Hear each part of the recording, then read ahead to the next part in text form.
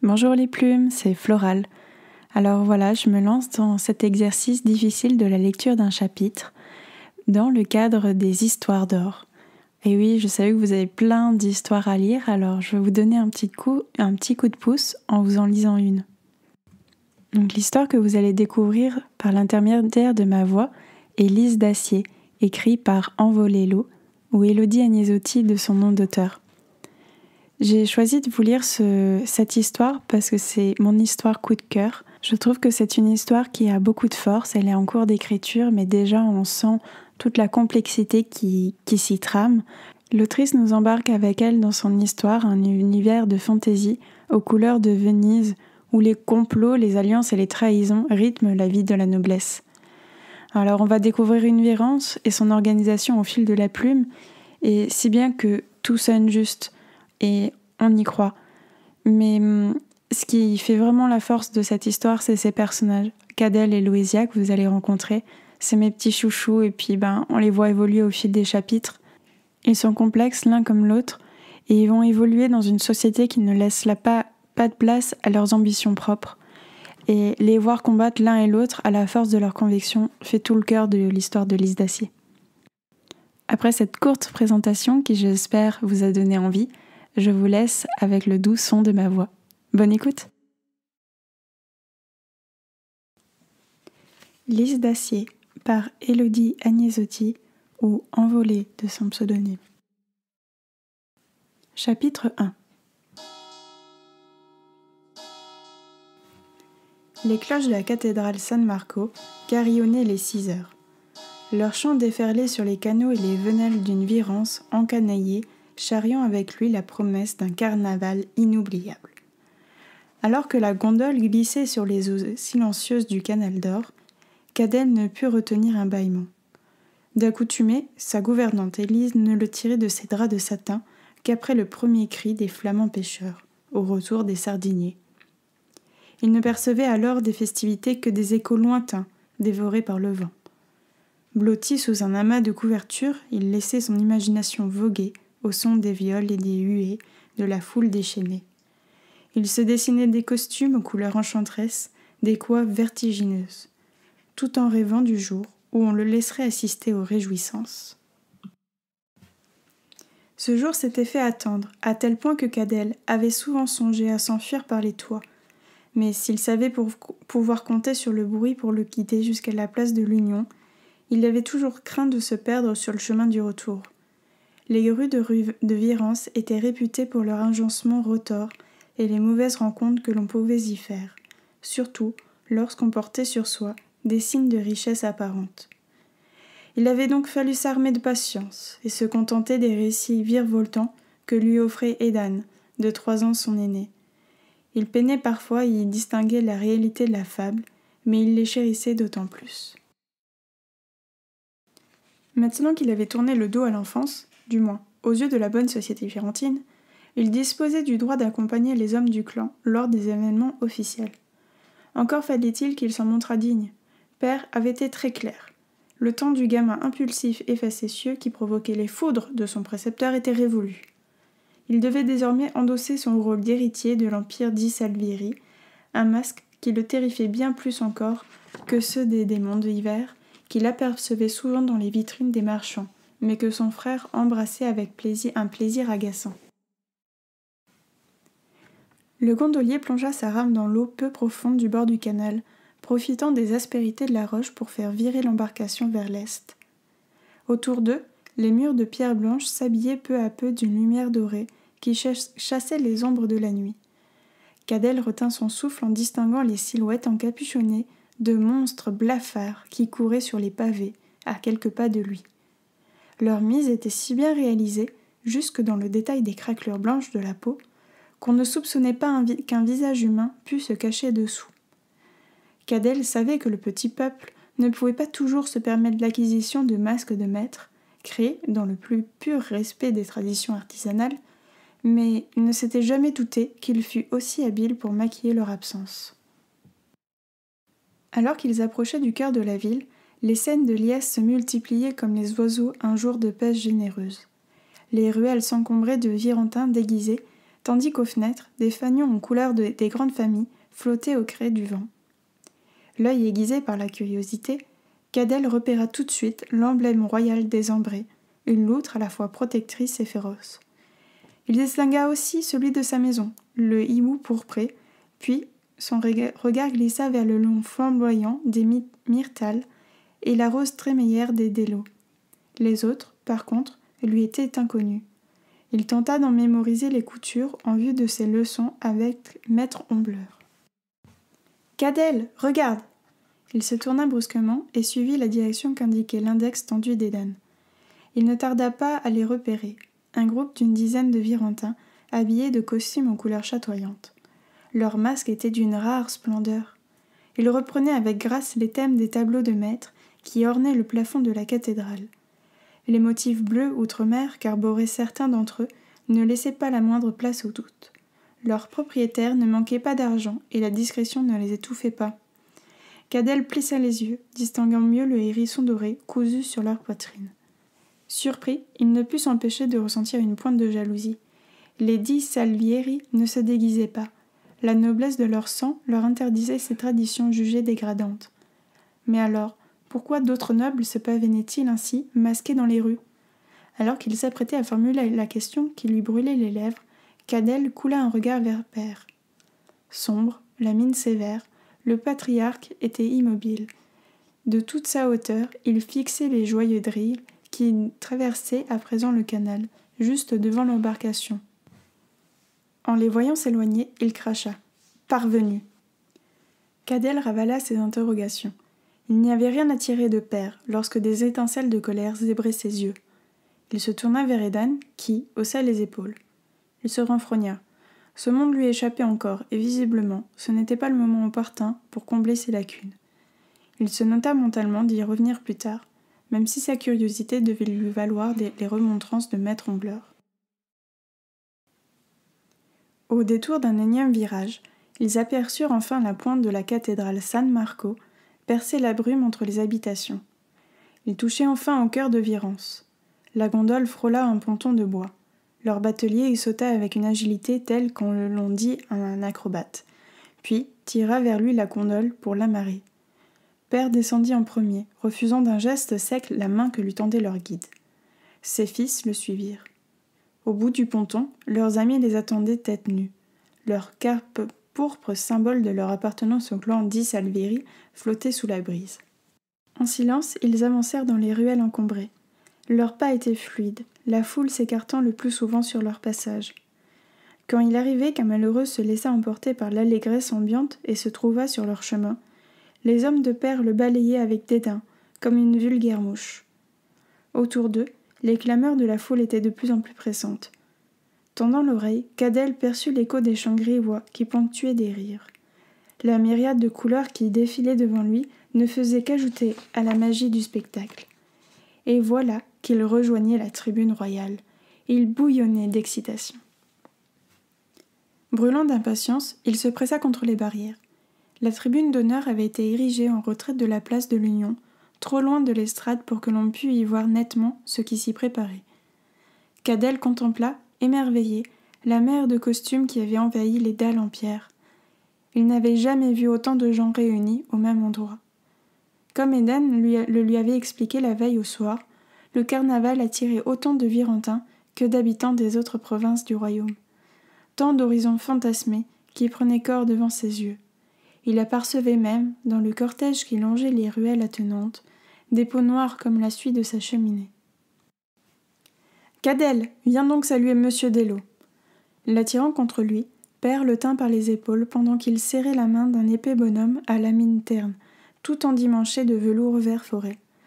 Je suis très honoré de faire votre connaissance, jeune seigneur. Très honoré. Moi, de même, balbutia-t-il.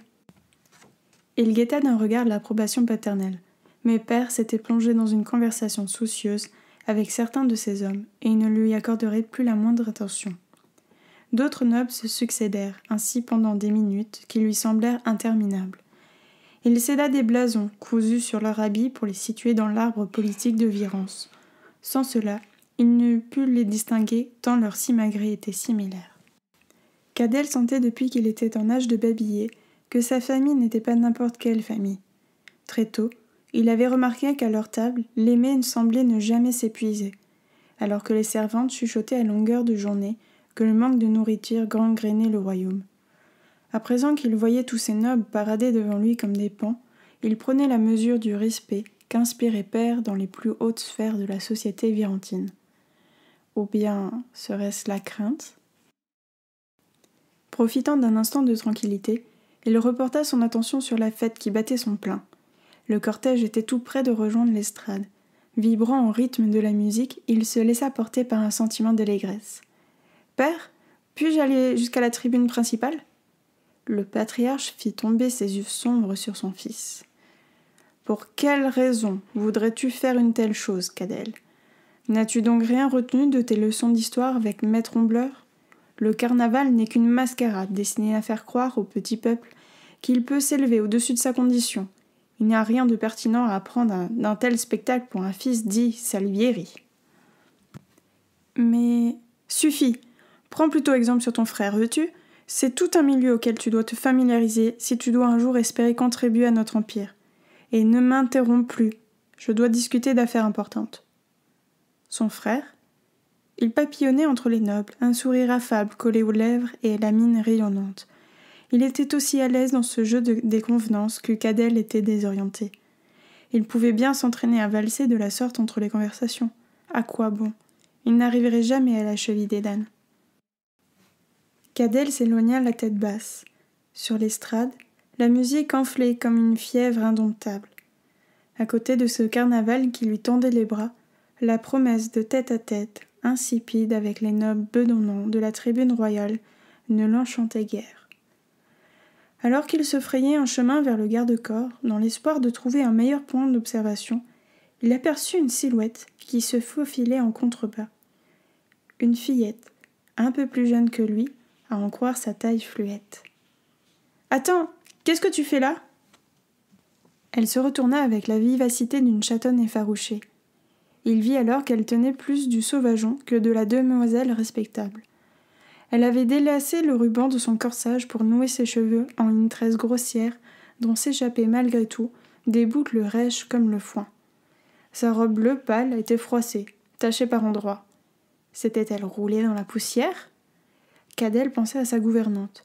Elle n'aurait pas manqué de s'étrangler s'il s'était montré en société sans son pourpoint, ou pire, avec des effets souillés. Une lueur farouche dans le regard, la gamine lui lança. Ça ne se voit pas? Je m'en vais. On ne voit rien d'ici, et la cérémonie de passage va bientôt commencer. Hors de question que je la loupe. Cadel coula un regard vers Père. Il était en pleine conversation avec Monseigneur Myrtal, un homme au visage aussi ridé que la surface du canal les jours de gros temps. Autour d'eux, de plus en plus de gens se massaient. Si on le cherchait, il lui serait facile de prétendre avoir divisé avec n'importe lequel de ces messieurs. Ce ne serait-ce pas son premier mensonge? L'attrait de la fête était tel qu'il n'hésita pas longtemps. Il sauta de la tribune pour la rejoindre. Je peux venir avec toi? Elle planta ses poings sur sa taille. Eh bien, je ne sais pas si tu es digne de m'accompagner, je ne sais même pas comment tu t'appelles.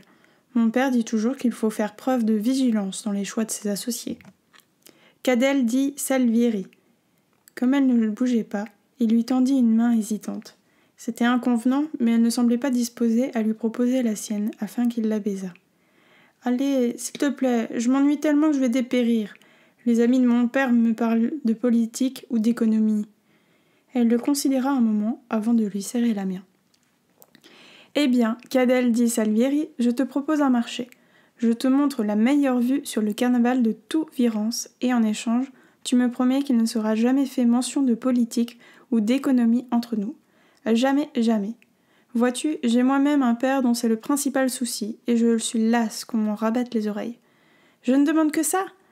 Elle lui tendit un doigt, puis, voyant qu'il ne réagissait pas, il insista. Promets. Il haussa les épaules et l'imita. Puisqu'elle y tenait, les lèvres étirées dans un sourire satisfait, elle retroussa sa robe jusqu'aux genoux et enjamba la barrière en bois. Cadel la regarda faire, abasourdie de l'insolence qu'elle déployait. Suis-moi. Ils longèrent la place aussi vite que le permettait la densité du cortège. Cadel eut de la peine à suivre le rythme imposé par la fillette, qui n'hésitait pas à pousser du poing les gens qui se trouvaient sur son chemin. Mais où a-t-elle été élevée? jura-t-il alors qu'un mécréant s'insurgeait d'avoir été bousculé. Il s'en excusa avec une politesse affectée et se hâta de revenir à sa hauteur. Il ne put s'empêcher de baisser les yeux lorsqu'il dépassait les miliciens postés tout autour de la place. La foule se fit éparse dès lors qu'ils quittèrent les artères principales de la ville. C'était la première fois que Cadel arpentait des rues aussi étroites et sales, mais il tut le dégoût que cela lui inspirait. Après quelques minutes de course effrénée, ils arrivèrent devant une discrète grille de métal qui bloquait l'accès à une vénelle sombre. La gamine se hissa tout en haut avec la légèreté d'une oiselle. À la voir rejoindre d'une poussée le balcon qui se trouvait à proximité, Cadel comprit qu'elle était rompue à cet exercice d'escalade clandestine. Ignorant la voix des approbatrices qui s'égosillaient dans son crâne, il la rejoignit tant bien que mal en ne manquant pas de déchirer son pourpoint. Sur le balcon, ils dénichèrent une échelle qui leur permit d'atteindre aisément le toit du bâtiment. Cadel luttait pour ne pas regarder en bas. Pendant toutes ces années où il avait rêvé s'enfuir par la fenêtre de sa chambre, il n'avait jamais imaginé qu'un tel vertige pût l'étreindre. Il se sentait bien bête à présent. On est bientôt arrivé? Ne commence pas à te plaindre, Cadel dit Salvieri. Elle se mérite la plus belle vue de Virence. Il ne put pas plus un mot de son impatience. Ils crapahutèrent encore un moment qui lui parut interminable, avant d'arriver sur un toit de tuiles noires. La jeune fille s'assit au bord et montra du doigt l'estrade où jouaient les musiciens. Cadel avança prudemment jusqu'au vide. Il était inconcevable qu'une fille entreprît quelque chose qu'il n'osait pas lui-même, et porta son regard le plus loin possible. Une foule épaisse se massait devant la tribune. D'ici, la place de l'Union ressemblait à une peinture pleine de taches de couleurs, toutes plus vives les unes que les autres, mais ils étaient à distance idéale pour assister à la cérémonie de passage, le point culminant des festivités. Il prit place à côté d'elle. Comment est-ce que tu as découvert cet endroit? Mon père donne des cours à l'académie. Je monte souvent ici en, en l'attendant. De l'autre côté, la vue donne directement sur la cour d'entrée. Cadel ouvrit des yeux ronds de surprise. Tu veux dire que ce sont les toits de l'académie? Elle haussa les épaules en lâchant un rire cristallin. Il tourna la tête et observa les alentours. Vu d'ici, la perspective était différente, mais il reconnaissait bien la tour nord et sa majestueuse coupole, bardée de mille fenêtres. Enfin, c'était ce que se, murmuraient les rumeurs. Il ne les avait pas comptées lui-même. Un frisson lui traversa l'échine. L'académie était un lieu sacré, et il était interdit d'y pénétrer si l'on n'y étudiait pas si on les surprenait. Elle chassa cette pensée glaçante de son esprit. En bas, le cortège s'animait, indiquant que la cérémonie était imminente. Il frémit d'excitation à l'idée que l'un de ses rêves d'enfant était sur le point de se réaliser au nez et à la barbe de son père. Au fait, je m'appelle Loésia. Loésa comment? Elle leva les yeux au ciel. Da elle posa son index sur le petit écusson coloré cousu, sur sa manche. Une feuille de lierre argentée. Sourcil français, il chercha dans sa mémoire une trace de cet emblème. Il ne lui semblait pas l'avoir déjà aperçu. Elle ricana. Ne cherche pas. Père dit que Sa Majesté nous a anoblis très récemment. Nous n'avons pas nos entrées dans les endroits que tu fréquentes. Autrement dit, il n'aurait jamais dû se trouver en sa compagnie. Il se sentit d'autant plus coupable d'apprécier ce moment. Il reporta son intention sur la cérémonie. La foule s'écartait pour former un passage qui serpentait jusqu'à l'estrade. Il ne tarda pas à repérer le passeur. Son habit était d'un vert feuille vibrant qui éclipsait par son intensité toutes les autres couleurs. Il avançait doucement, au rythme de son escorte. Si Cadel était trop loin pour distinguer les traits de son visage, il les imaginait soucieux, concentrés à l'extrême. N'était-ce pas comme cela que l'on se sentait lorsque l'on portait sur ses épaules le poids de tout un royaume? Lorsqu'il posa le pied sur l'estrade en bois, le silence s'abattit sur l'assemblée comme un nuage. La solennité de l'instant était saisissante. Cadel vit trouver même quelque chose de poétique qui fit naître chez lui une envie irrépressible de dessiner, un passe-temps qui, au fil des années, s'était transformé en réelle passion. Le passeur joignit ses mains au-dessus de sa tête. Accompagné dans son mouvement par un roulement de tambour languissant, les chœurs entamèrent une mélopée dissonante qui ne ressemblait à rien de ce que Cadel connaissait. Petit à petit, un vent, scintillant gonflé de feuilles mortes se mit à envelopper le passeur. Loïsa retenait son souffle tandis que Cadel tentait de calmer sa respiration. Les chants s'envolèrent vers les écus, accompagnant la renaissance des feuilles qui verdissaient maintenant à vue d'œil. C'est incroyable. L'espace d'un murmure, tout partit en fumée. Cadel n'entendit qu'un cri semblable à celui d'un rapace sur le point de fondre sur sa proie, puis un sifflement vif et menaçant. Quelques secondes plus tard, une flèche se planta dans la tête du passeur. Son corps s'écroula sur l'estrade dans un bruit sourd qui fit l'effet d'un coup de tonnerre. Les feuilles cessèrent de virevolter et s'émettèrent. De la clameur métallique qui s'élevait de la foule, on devinait, on devinait que les miliciens avaient tiré leurs épées. Mais contre qui? Un mouvement de panique prenait la possession du cortège, annihilant toute possibilité de comprendre ce qui se passait sur la place. Loésia cria. Un appel strident qui ramena Cadel à la réalité de l'instant.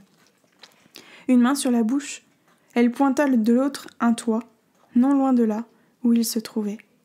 Une silhouette encapuchonnée, un arc à la main. Cadel eut le réflexe salutaire de jeter Loésia à terre, mais il jura lorsqu'il vit l'inconnu les viser. Une flèche siffla juste au-dessus de leur tête. Une peur viscérale s'empara de lui. Sans réfléchir, il attrapa le bras de Loésia. Cours Ils se laissèrent glisser sur les tuiles noires jusqu'à l'étage inférieur. Cadel sentit une douleur vive au niveau de sa cheville mais ne s'arrêta pas. La terreur lui donna des ailes. En quelques minutes, d'une course effrénée, ils rejoignirent le balcon puis la grille. Plus aucune flèche ne siffla, mais l'assassin avait-il pour autant lâché l'affaire? Dans la ruelle, les passants se bousculaient. Ils furent rapidement noyés dans la foule disparate qui se déversait de toutes parts. Cadel se félicita. Même s'il devait endurer les coups des fuyards affolés et se faufiler tant bien que mal à contre-courant, au moins était-il impossible à quiconque de les repérer. Le soulagement ne l'étreignit pas pour autant. Le chaos était tel que des masques gisaient au sol, déchirés, ensanglantés pour certains abandonné. L'espace sonore était saturé de pleurs et de hurlements qui glacèrent le sang de Cadel. Des questions lourdes comme l'acier l'assaillaient. Pourquoi déchaîner une telle violence? N'y aurait-il plus de printemps? Qu'avait-il vu qui nécessitait de les faire disparaître? Loïsia le tira de ses pensées. On ne pourra pas retourner à la tribune royale. Regarde. À une vingtaine de mètres devant eux, les miliciens rejetaient les passants qui se brisaient comme des vagues sur les rochers. La tribune avait dû être évacuée. Il retraça mentalement le chemin qu'ils avaient parcouru le matin même, puis s'écria L'embarcadère, suis-moi Ils se frayèrent un passage dans la débâcle, essayant d'ignorer les images de désolation qui leur sautaient aux yeux. Cadel était à bout de souffle lorsqu'ils aperçurent enfin le pont de bois où ils avaient accosté. Père, Edan et leur suite attendaient, aussi immobiles que la foule était mouvante. Après tout ce qu'il venait de se passer, cette vision de sa famille saine et sauve était étonnamment réconfortante. Je ne prendrai même pas la peine de te demander où tu étais. Tu me déçois, Cadel. Cadel se figea devant la sécheresse de sa voix. Elle ne contenait pas la moindre trace du soulagement que lui-même ressentait. Père avait-il conscience de ce à quoi ils avaient échappé? D'ici, on percevait encore les pleurs qui s'élevaient de la place de l'Union. La foule se déversait en flots irréguliers dans les ruelles atténantes. Les visages étaient fermés. Ils dégoulinaient de larmes et de maquillage.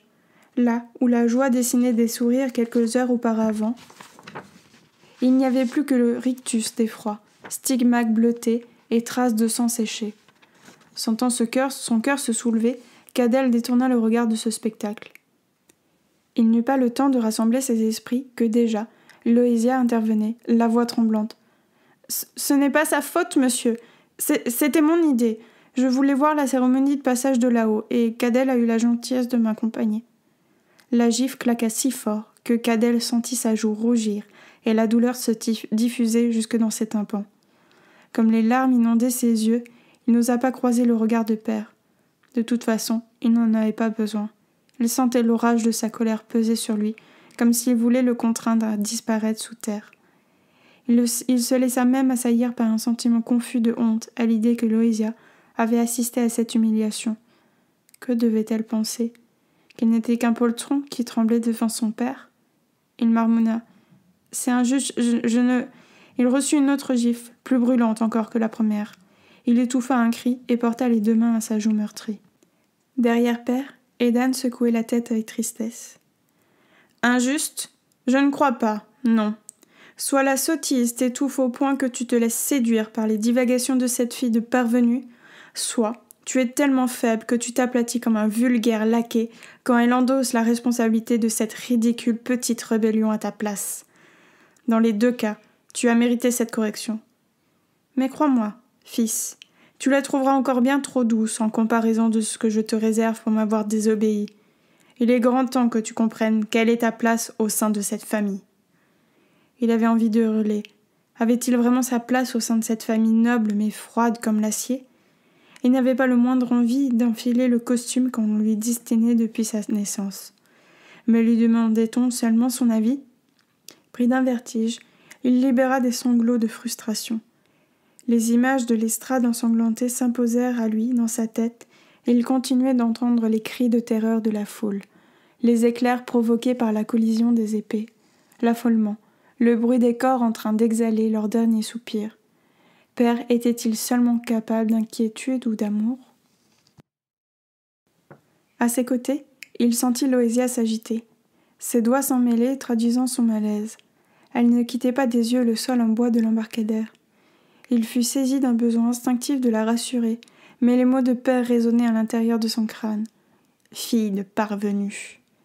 Était-ce là tout ce qu'il y avait à dire d'elle? Son ascendance devait-elle effacer son audace et le tintement délicieux de son rire? Et lui, dans tout ça, qui était-il? Tétanisé, incapable de la moindre parole, il se laissa traîner par le bras vers la gondole.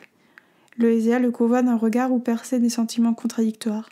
De la colère, un dédain qui s'encoquinait avec la pitié, mais aussi une franche inquiétude et une forme de tendresse. Il en garda le souvenir imprimé sur la rétine, même après que la silhouette de la jeune fille se fût évanouie. Par contre, il eut toutes les peines du monde à définir lequel de ses sentiments prenait le dessus sur les autres, et ce questionnement ne cessa dès lors de l'accompagner. J'espère que vous avez passé un bon moment avec Cadel, Loésia et moi. J'ai plus qu'à vous souhaiter un bon marathon et de belles découvertes parmi les histoires d'or. À bientôt!